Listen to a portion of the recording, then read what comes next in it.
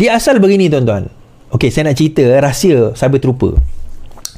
Dia ada dua jenis cyber trooper. Okey, satu cyber trooper yang dibayar. Satu cyber trooper yang memang dah dibayar.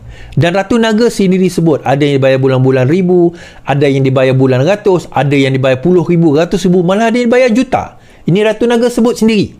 Contoh dalam TikTok ni sendiri tuan-tuan, saya tengok TikTok ni, mungkin dalam ni kurang lah sikit dalam Facebook saya, YouTube saya ni kurang. Tapi dalam TikTok ni banyak. Dan mereka ni adalah mereka yang dibayar. Saya tak dibayar. Ha, saya memang memegang jawatan Setiausaha Koordinasi Penerangan Parti Keadilan Rakyat. Yang tu tak bergaji. Untuk makluman tuan-tuan dan perempuan lah, yang tu tak ada gaji. Saya dilantik. Alah mustahil kau ada jawatan tak ada gaji. Lillahi ta'ala tuan-tuan. Lillahi ta'ala saya cakap depan rezeki ni. Saya tak dibayar gaji. Dan tak perlu bayar gaji saya pun. Saya buat benda tu ada untuk tujuan mempertahankan kerajaan ini. Baik, that's beside the point. Now, itu yang pertama tadi, iaitu mereka yang dibayar. Tapi ada yang kedua, mereka yang sekarang ini buat benda ni, buat persepsi ni, tunjukkan solidariti kononnya, buat fitnah ni, nak tunjuk kepada pembangkang tengok apa yang aku boleh buat untuk offer. Faham tak? Ni macam kira portfolio lah, portfolio. Ah, portfolio dia. So dia buat portfolio dia. Oh ni aku fitnah, aku fitnah, aku fitnah. Tengok kerajaan sekarang ni gegar dengan aku tak? Dia tunjuk kepada bos dia, tengok bos, aku dah boleh buat ni. Soalan saya, berapa nak kena bayar? How much are you willing to pay me in order aku nak bekerja kat sini? Bukan saya kata Ratu Naga, ini adalah dua golongan di dalam geng-geng cyber trooper PN yang ada sekarang ini. Dan PN, kenapa PN sistematik? Dia dua sebab. Kenapa PH BN ni tak sistematik dalam dia punya cyber trooper ni.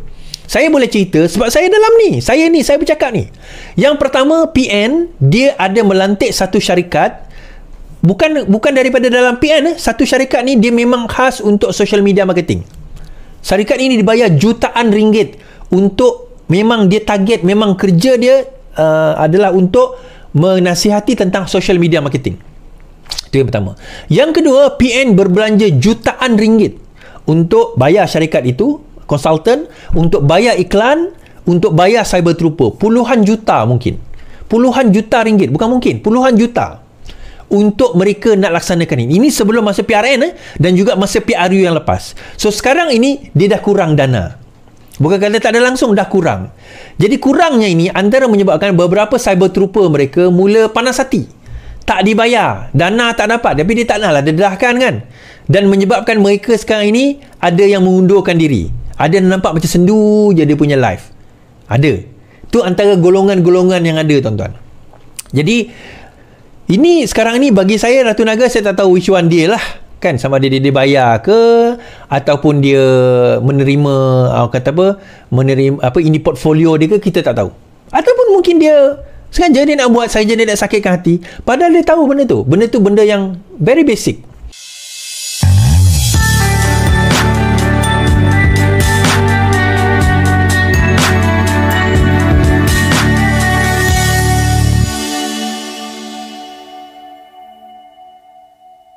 Now, Tuan-tuan, Ratu Naga ni saya saya itu komen pendeknya lah. Kita semua bukan bodoh sangat lah nak percaya apa dia cakap tu. Tetapi saya nak cerita mentaliti dia orang, persepsi dia orang ni.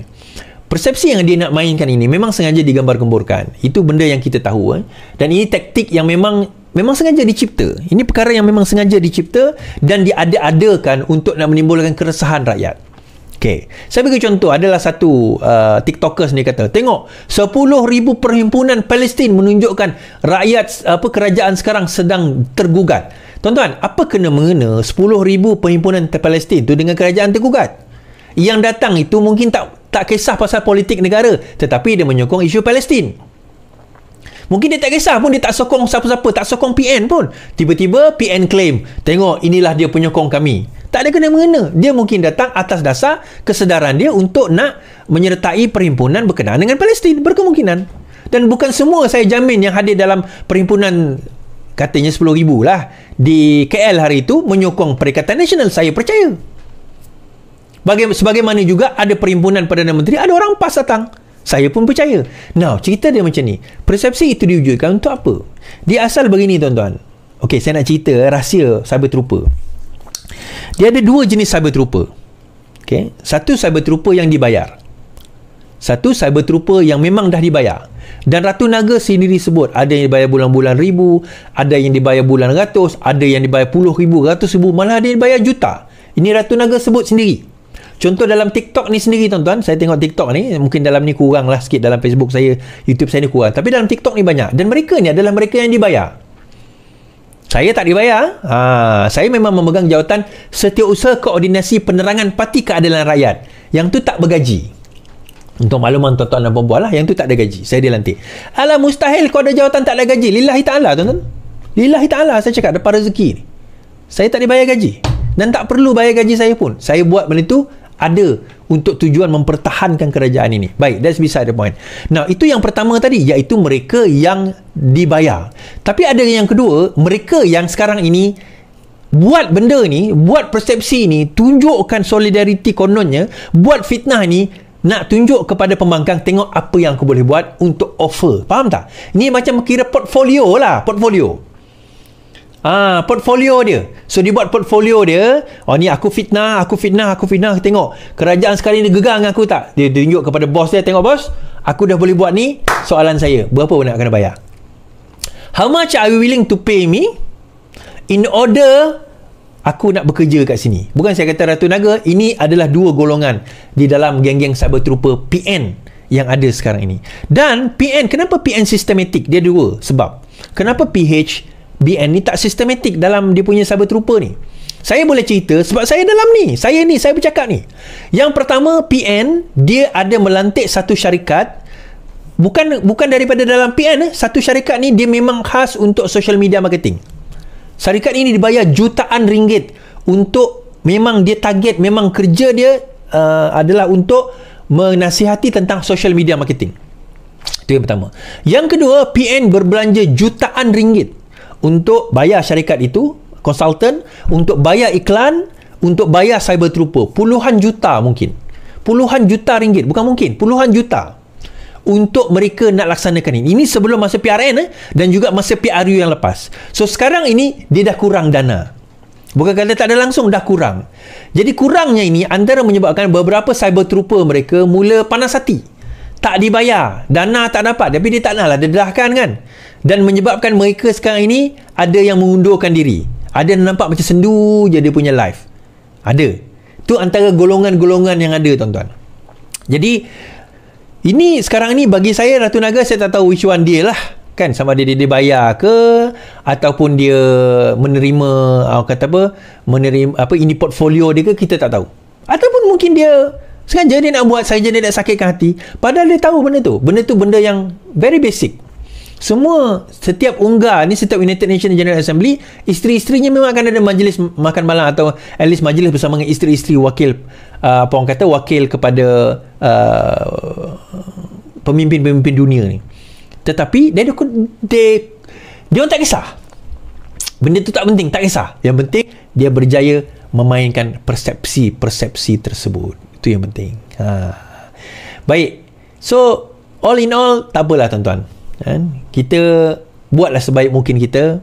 Bagi saya macam saya katalah orang tak tengok kita orang tengok kita orang suka kita orang tak suka kita kita live tak ada orang tengok pun tak ada masalah. Saya live tiga orang je tuan-tuan mula-mula dulu. Saya mula 2019 tiga orang je tengok. Itu pun satu tu seorang tu saya sendiri sebab saya ada phone satu lagi.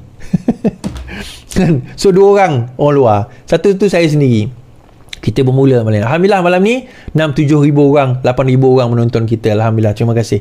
Kepada semua yang menonton kita bersama saya di TikTok di Facebook, di YouTube, di Insta, di Twitter dan kepada yang share, yang like, yang retweet sehingga ada 180 share dalam TikTok. Terima kasih. Tuan-tuan memang terbaik dan tuan-tuan adalah yang sentiasa support saya.